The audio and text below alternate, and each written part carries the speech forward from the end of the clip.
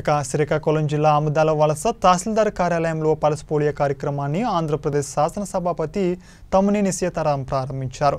ఐదు సంవత్సరాల లోపు పిల్లలకు పోలియో చుక్కలు తప్పనిసరిగా వేయించుకోవాలని తెలిపారు. పోలియో లేని రాష్ట్రంగా ఆవిర్భవించాలని పిల్లలు బంగారు భవిష్యత్తుకు బాటలు వేయాలన్నారు. ఈ కార్యక్రమంలో బొడ్డేపల్లి రమేష్ కుమార్ అలంశెట్టి ఉమామహేశ్వరరావు దుంపల శ్యామలరావు తదితరులు పాల్గొన్నారు.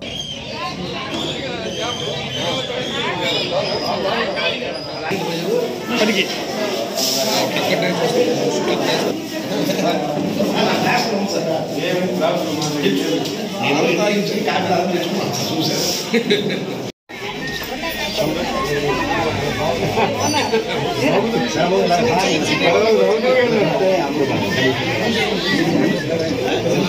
Ah.